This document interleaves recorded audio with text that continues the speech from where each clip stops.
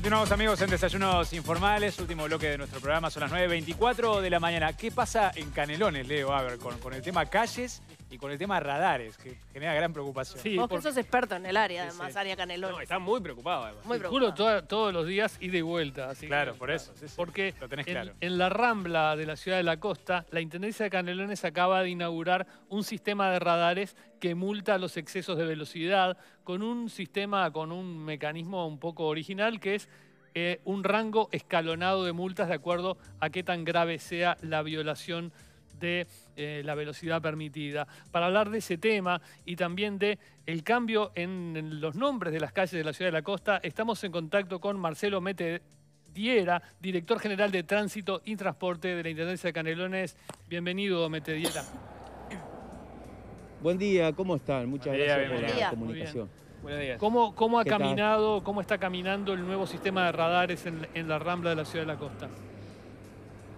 Bien, este lugar, estos cuatro puntos donde pusimos los radares fijos, es donde eh, de manera eventual fiscalizamos con los radares móviles, o sea, pasamos de un control eventual a un control permanente, pero los lugares están definidos ahí porque ahí es donde cambia la velocidad y es donde nosotros tenemos, creemos controlada y queremos que se mantenga en esas condiciones y se mejore un poco más. En esta lógica que estamos intentando construir de que si bien en Uruguay no existen las vías rápidas de circulación, el mensaje es, bueno, esto ya no es más una vía rápida, es un paseo, paseo costero que se está construyendo, no solo con los ra- los radares, sino con la infraestructura, que bien tú, Leo, visualizás todos los días, la- la- la- el pavimento que ahora se está recapando en esta zona, la ciclovía, las estaciones saludables, en fin, un montón de infraestructura que los radares acompañan al control de la velocidad.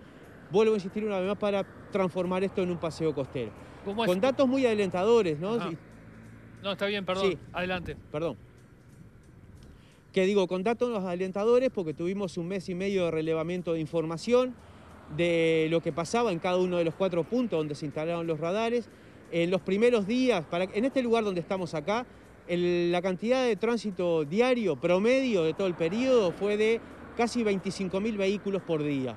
De esos 25.000 vehículos por día, 6.300, 6.400 eran los que excedían la velocidad permitida. Eso en el arranque del relevamiento. Al final del relevamiento, ese número este, de excesos de velocidad había bajado de 3.074. O sea, ya desde el pique la gente incorporó, por suerte, eh, el hábito de la velocidad, disminuyéndolo, y se bajó en este punto específicamente en un 51% los excesos de velocidad que se contrataron en este mes y mes, mes, mes y medio. Así que bueno, este, esas son las expectativas que tenemos y ojalá esto, eso sin haber aplicado ni una sola multa, ¿no? Tenemos la expectativa de que eso siga disminuyendo. ¿Cómo es el sistema de multa escalonada según el exceso de velocidad? Bien, nosotros teníamos una única multa por exceso de velocidad de 10 unidades reajustables. A partir de este relevamiento tuvimos dos decisiones políticas. Una es explicitar la tolerancia que se va a tener en cada punto de control, que es de 10 kilómetros por hora, y esa tolerancia abarca un análisis del entorno claramente para la velocidad, pero también abarca dejar por fuera de esa tolerancia este, lo que son los posibles errores que los propios fabricantes automotores eh, dicen que tienen los velocímetros, dejar afuera el margen de error que tienen los eh, radares según las normas de origen, ¿no?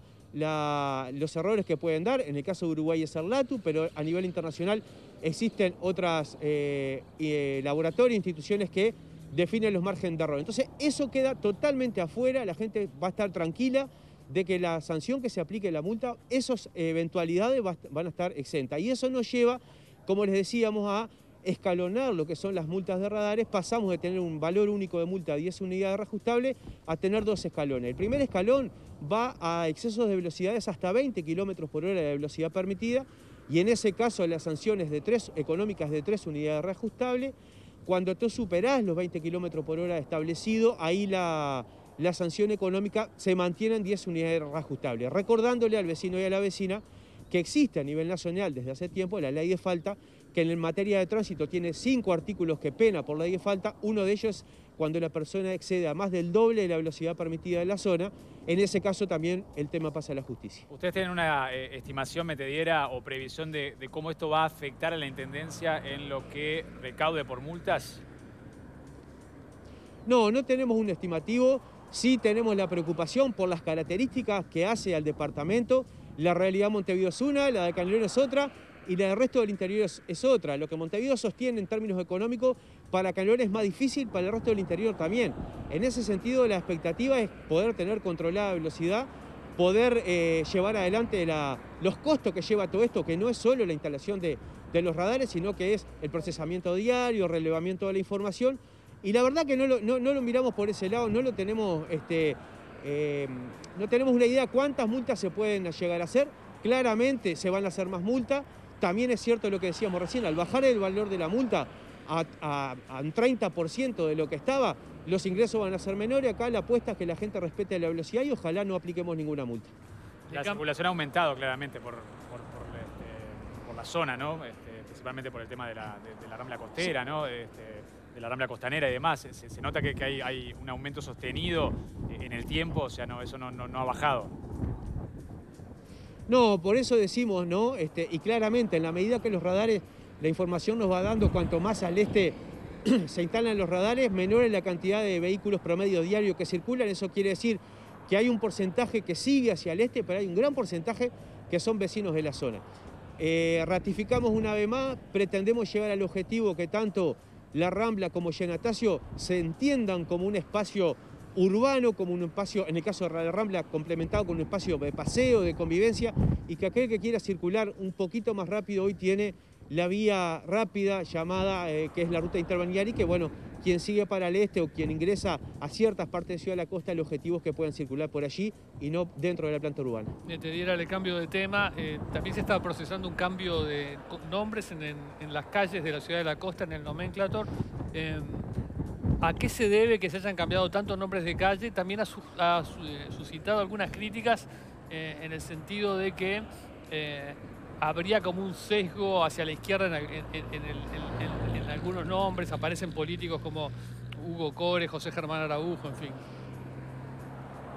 Exacto. A ver, acá hay un proceso que empezó, o mejor dicho, la etapa finalizó en el año 2008 cuando se enviaron todos los, expedientes a la Junta Departamental, que es, la que define los nombres de la calle. Pero para eso hay un protocolo de trabajo en el cual participaron, se convocaron a 31 organizaciones de, los barrios sociales, comisiones barriales, de las cuales participaron 25 de las comisiones barriales. De hecho, de esas 25, 17 llegaron hasta presentar propuestas con un plan, o sea, un trabajo mucho más elaborado. Entonces hubo debate con la sociedad.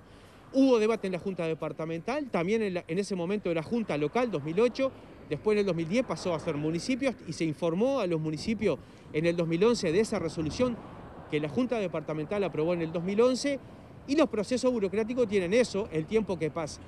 El marco que se le da a esto también es la situación económica que tenía la Intendencia en esos años. Eh, más de una vez, con ustedes lo ha conversado algún otro compañero, Canelones recién en el año 2012 llevó a un equilibrio a la Intendencia en términos económicos de lo que son los ingresos y los egresos. Recordemos que en el 2005 eh, eh, eh, el déficit que tenía la Intendencia de Canelones era 3,5 presupuestos anuales, hoy es de 0,65. Entonces, en ese momento la prioridad era el pago del salario de los trabajadores, el alumbrado, la basura, las calles. A partir del 2012 que se logra ese, equilibrio financiero, económico, se empieza con los procesos de fideicomiso de obra que estuvimos hasta hace poco discutiendo en un unido fideicomiso en esa perspectiva y con esas posibilidades y con esa espalda financiera es que se llevarán adelante un montón de proyectos hidráulicos, viales, de alumbrado, de gestión ambiental y también se incorpora la posibilidad de instalar el nomenclator en las calles, algo que es recontra necesario, que hasta ese momento no había un solo cartel, tú lo podés este, asegurar, y que es importante para cuando viene una ambulancia, para cuando viene el correo, para que los gurises jóvenes visualicen los nombres de las calles, porque eso ayuda también, si vos capaz le preguntaba a un montón de gurises y gurisas jóvenes, no saben los nombres de las calles, no tienen cómo identificarlo. Entonces estamos yendo a más, estamos yendo en esa dirección. Hicimos una licitación, se instalaron entre lo que fue los nomenclatores de todo el departamento, fundamentalmente Las Piedras, Pando, Calderón, Ciudad de la Costa, Paso Carrasco, 1.414 nomenclatores, un costo de casi 15 millones de pesos. En otros municipios hemos trabajado junto con los municipios en, el trabajo concreto, en la financiación y tenemos perspectiva además. Entonces estamos avanzando hacia ahí. Claro, pasa lo cotidiano. Yo hoy voy por Montevideo y circulo por propio, y circulo por Centenario. Y si me preguntás dónde la Rañago, Valle Ordóñez, me cuesta un poco.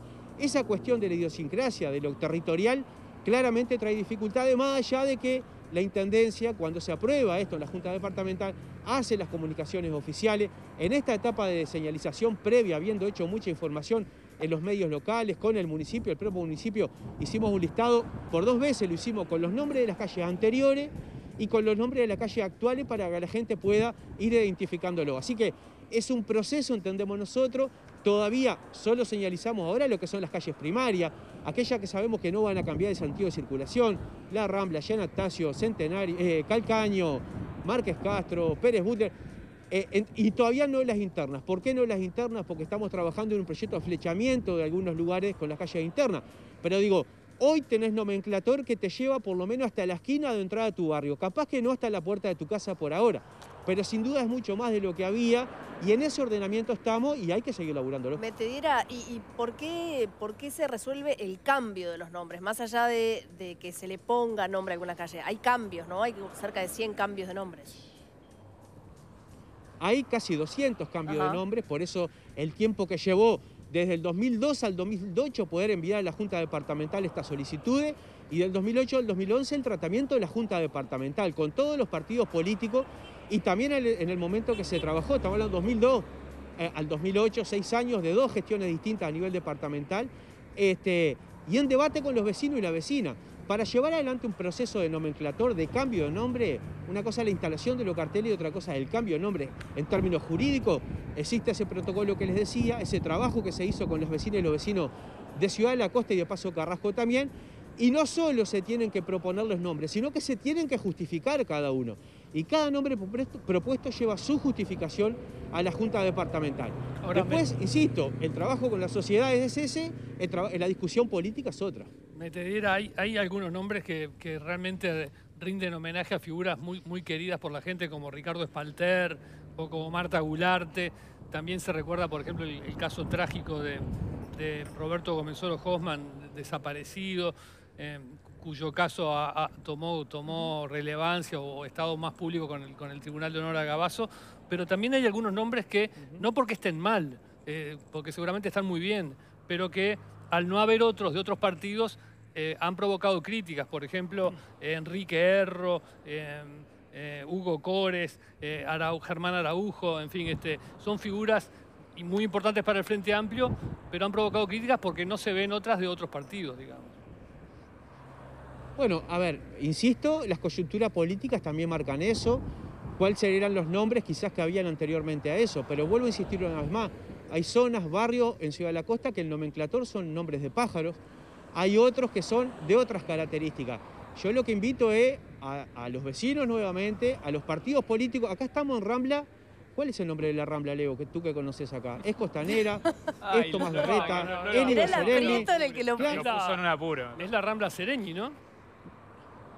Exactamente, jurídicamente es la Rambla Sereni. Ahora, eh, este, ¿qué, quiero decir? En términos jurídicos, en la Se llama igual que en. Ahora, uh, se llama igual que en la interbalnearia. Ahora, yo lo que invito a, no solo por la Rambla, sino por otros lugares más, hay que organizarse y hay que trabajarlo con el municipio, con los vecinos y proponer los nombres que hagan. Eso hay que hacerlo. No podemos desde la crítica o desde el, la crítica en términos de, cuestionamiento cambiarlo. Señores, señora, propuesta concreta, trabajo en el territorio y hacer el proceso que se hizo durante mucho tiempo en durante muchos lugares. O sea, no hay eh, problema con llevar adelante eso y con integrarse a la participación. Cada una de esas organizaciones sociales, 25 como les dije, tenían su integración y su referencia. ¿Ustedes piensan que todas esas 25 organizaciones son del Frente Amplio?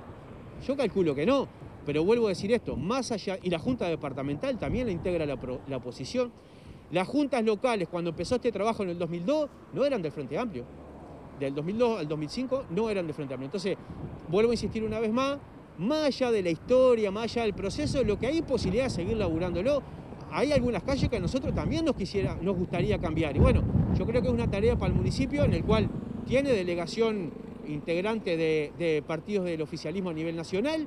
Este, y en Canelones hay diálogo con todos los partidos políticos. Por lo tanto, hagamos el proceso que hay que hacer sin mayores traumas. Otra, otra y la última que, es muy cuestionada es la calle Alvear, que era una calle muy tradicional que pasó a llamarse Artigas. Sí, hay muchas, ¿no? Hay muchas en esas condiciones. Vuelvo a insistir, yo que soy un canario voy a Montevideo y entro por centenario o por, propio Eso va a pasar muchísimo. este, también está este, Avenida del Canal, que era otra calle Artiga. Tenemos muchas reiteraciones de nombre, eso Sí. también se prolijó. Pero bueno, lo importante es tener la identificación, el nomenclator, pero también lo que tenemos acá y en esas calles, infraestructura para que la gente pueda vivir la ciudad de una manera distinta. Marcelo Metediera, director general de Tránsito y Transporte de la Intendencia de Canelones, muchas gracias por esta entrevista. Muchas gracias y un gusto. Gracias. Buen día. Hasta luego.